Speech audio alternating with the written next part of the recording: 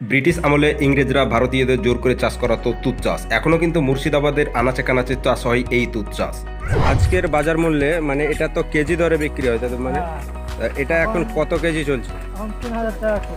তিন হাজার টাকা কেজি। মানে বছরে কবার হয় এটা? এটা চারবার ধরে।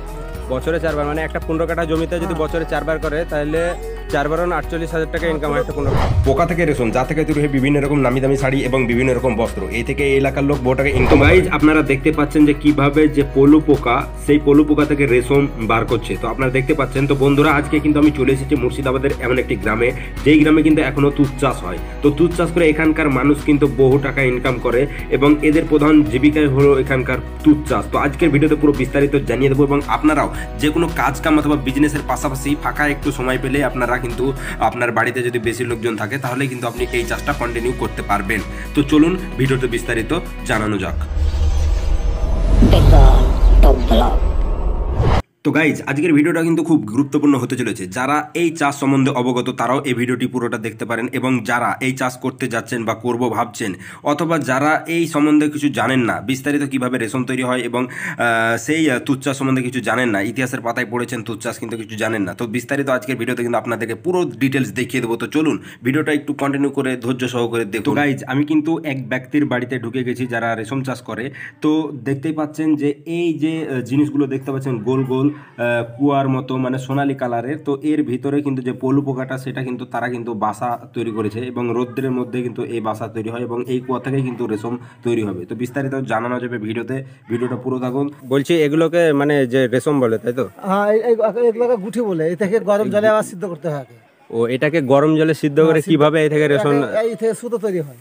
ও আচ্ছা আচ্ছা। ওই তো সাইডে কাটছে চলো দেখাচ্ছি তো আপনাদেরকে দেখিয়ে দেবো এই দাদা বলছে যে কীভাবে এই থেকে মানে গুটি ই করে যে রেশম বার করে সেটা আপনাদেরকে দেখিয়ে দেবো। তো এই যে কুয়োগুলো দেখতে পাচ্ছেন এর ভিতরে কিন্তু যে পোকা বলে যেটাকে পলু বলে এটা কিন্তু এর ভিতরে আছে এবং এরা এগুলোকে তো রোদে দিলে মনে হয়। এই বাসাটা করে তারা হ্যাঁ নিজে। দিতে হয়। রোদে দেওয়ার পরে হয়। এরা কিন্তু এরকম এরকম ধরনের বাসায় যে কুয়া দেখতে পাচ্ছেন এরকম তৈরি করে। আপনাদেরকে দেখাবো এগুলো। তো এর ভিতরে কিন্তু সে ভরা আছে। এগুলোকে গরম জলে মানে সিদ্ধ করে এই থেকে রেশম বার করতে হয়। তো আপনাদেরকে সেটা দেখিয়ে দেবো। রেশম বার করে কীভাবে সেটা আপনাদেরকে দেখিয়ে দেবো। তার আগে আপনাদেরকে দেখিয়ে দিই। এই যে পোকাগুলো দেখতে পাচ্ছেন এটার নাম হচ্ছে পলু। এগুলোকে পলু বলে। এবং এই যে পোকো এদের প্রধান খাদ্য হচ্ছে পাত। সেই খাদ্যটা কি খাবার সেটা আপনাদেরকে দেখিয়ে দিই।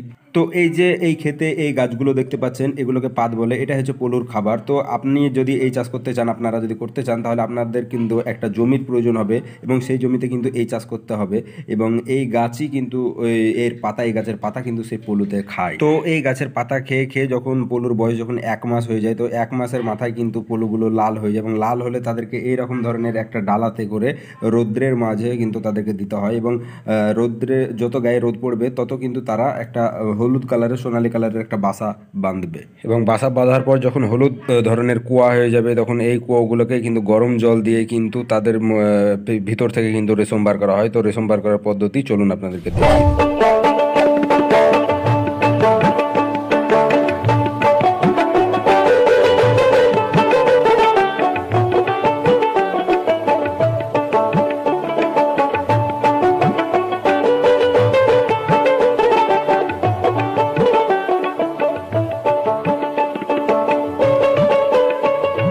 তো গরম জলে দেওয়ার পর কীভাবে সুতো কাটছে আপনারা দেখতেই পাচ্ছেন যে এইভাবে কিন্তু সুতো ধরে ধরে কিন্তু সুতো কাটে এবং এই থেকে কিন্তু রেশম বার হয় এবং এই রেশম এইভাবে দেখতে পাচ্ছেন কীভাবে জড়িয়ে নেওয়া হচ্ছে সুতোগুলো। তো এই এগুলোকে তখন মানে তারপরে বাজারে গিয়ে বিক্রি করা হয়। তো পুরো ডিটেলস জেনে নেওয়া যাবে। তো চলুন, জানা যাক।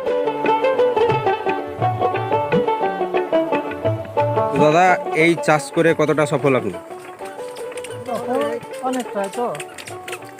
আজকের বাজার মূল্যে মানে এটা তো কেজি দরে বিক্রি হয় তাদের মানে হ্যাঁ, এটা এখন কত কেজি চলছে?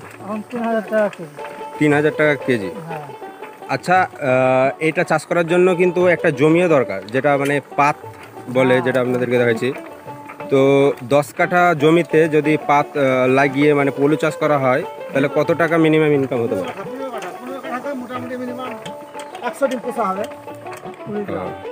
পনেরো কাঠাতে একশো দিন পোষা হবে।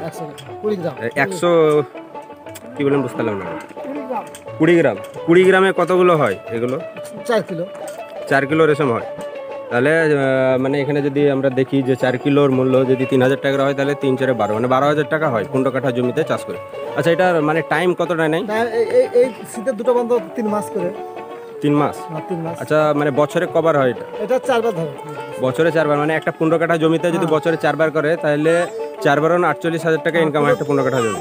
আচ্ছা এটা প্রতি বছরে ন্যায় আপনারা কিন্তু এবছরও চাষ করেছেন তাই এটা কি মানে বাজার মূল্য একই দাম থাকছে না বছর বছর দাম চেঞ্জ কমা বাড়া হয়েছে। কমা বাড়া আছে। আর দু হাজার ছিল চব্বিশশো ছিল এই- এই বছর দামটা বেশি। আচ্ছা আমাদের যে দর্শক বন্ধুরা ভিডিও দেখছে তাদের মধ্যে যদি কেউ মানে এরকম ধরনের মানে চাষ করতে চায় ধরেন কিছু অনেকেই আছে বেকার তাদের জমি আছে তারা কি করব সেটা বুঝতেছে না। তো এরকম যদি মানে এই রেশম চাষ করে তো তাদেরকে কি টিপস দেবেন? কীভাবে মানে তারা এই যে ডিম পাওয়া যায় সেই ডিম নিয়ে চাষ করবে কীভাবে যার জমি আছে সেরকম লোক এমন লোক নাই বাদ আছে। তো এদিকে মানে ধরেন কি যে মানে এই সাইডে তো প্রায় সকলে চাষ করে এবং এ বিষয়ে অবগত কিন্তু অনেক দিক আছে। এই মুর্শিদাবাদের মধ্যে অনেকে কিন্তু এই চাষ জানে না। যেমন আমি আজকে মানে জানি না এই সম্বন্ধে তো তারা যদি কেউ চাষ করতে চায় তো তারা মানে কীভাবে করতে পারে? আপনাদের সঙ্গে যদি যোগাযোগ করে আপনারা মানে এই যে পলুর যে ডিম বলা যেতে পারে সেইটা মানে কি বহরমপুর থেকে যোগাযোগ করতে হবে অফিসে। বহরমপুর অফিসে কি এটা পাওয়া যায়? হ্যাঁ বহরমপুর অফিসে পাওয়া যায়। এগুলো হচ্ছে পোলট্রি চাষের মতো তাই তো? হ্যাঁ? পোলট্রি যখন চাষ করতে ওখান থেকে আনতে নবগ্রাম অফিসে পাওয়া যায়। আচ্ছা আচ্ছা তো গাইজ আপনারা দেখতে পাচ্ছেন যে মুর্শিদাবাদের মধ্যে সদর শহর বহরমপুর শহর তো আপনারা চিনেন। বহরমপুর শহরে কিন্তু এমন কিছু না জিনিস পাওয়া না। হ্যাঁ। সব কিছু পেয়ে যাবেন এবং আপনারা নবগ্রামেও পেয়ে যাবেন এই পলুর ডিম। তো কীভাবে ফোটাতে হয় কীভাবে ই করতে হয় আপনারা কিন্তু এই বিষয়ে জানতে হলে আপনারা যদি না জেনে থাকেন তাহলে আপনারা এই দাদাদের সঙ্গে যোগাযোগ করতে পারেন। অফিসে জানা যাবে। এবং অফিসে আপনারা গিয়ে যোগাযোগ রাখলে সব কিছু অফিসে যোগাযোগ করলে আপনাদেরকে বলে দেবে কীভাবে চাষ করতে হয়। এবং? অবশ্যই আপনাদেরকে একটা জমির দরকার যে জমিতে কিন্তু সবজির জমি হওয়া প্রয়োজন মানে ধানের জমিতে কিন্তু এই যে পাত চাষ করে পলুর খাবার সেটা কিন্তু হয় না? ডাঙা জমি লাগে। আচ্ছা ডাঙা জমি লাগে। জল জমে না সেসব জমি লাগে। তো শুনতে পেলেন, আপনারা সব কিছু জানতে পারলেন। তো গাইজ দেখতেই পাচ্ছেন যে এটাই হলো সেই রেশম, দেখতে পাচ্ছেন সুতো। এটা এখন বাজার মূল্য তিন হাজার টাকা কিলো। তো ব্রিটিশ যুগে কিন্তু ভারতীয়দেরকে জোর করে ইংরেজরা করাতো এই চাষ। তাদের লাভ ছিল না, তাদেরকে অল্প দাম দিয়ে তাদের কাছ থেকে কিনে নিত। তো এখন মোটামুটি যে বাজার দর, সেটাতে মানে লাভজনক বলে মনে করছে এই এলাকার লোকরা। তো মুর্শিদাবাদের অনেক এলাকাতে কিন্তু এই পলু রেশম চাষ কিন্তু হয়। তো আপনারাও কিন্তু বাড়িতে অন্য কাজের পাশাপাশি অথবা বিজনেসের পাশাপাশি বাড়িতে যদি আপনার বেশি লোকজন থাকে দেখাশোনা করা তাহলে এই কাজটি কিন্তু করতে পারেন। তো এই চাষ করার জন্য একটা জমির প্রয়োজন হয়তো আপনারা দেখতে পাচ্ছেন যে ক্ষেত, এই জমিটা দেখতে পাচ্ছেন যে অবশ্যই এই জমিতে জল জমলে হবে না। তো এই গাছগুলো কিন্তু বছরে মানে চারবার পলু চাষ করা হয় এবং চারবার কিন্তু আপনারা এই গাছ কেটে নেবেন এবং তারপর আবার মানে জমিতে জল দিলে আবার কিন্তু এই গাছ আবার বের হবে। তো কেটে নেওয়ার পরে বের হয়। তো এইগুলো কিন্তু ডাঁঠা লাগায় মানে ডাল লাগালে কিন্তু এই গাছ হয়। তো তুচ্চার সম্বন্ধে আজকের এই ভিডিওটি কেমন লাগল অবশ্যই কিন্তু কমেন্ট বক্সে আপনারা জানিয়ে যাবেন। আর হ্যাঁ ভালো লাগলে অবশ্যই ভিডিওটিতে লাইক করবেন এবং চ্যানেলটিকে সাবস্ক্রাইব করে পাশে থাকুন। বিভিন্ন রকম তথ্য, বিভিন্ন রকম ব্লগ ভিডিও কিন্তু আপনাদেরকে আমি কিন্তু আপনাদের সম্মুখে কিন্তু যে কোনো সময় কিন্তু নিয়ে উপস্থিত হব। তো সকলকে অসংখ্য ধন্যবাদ।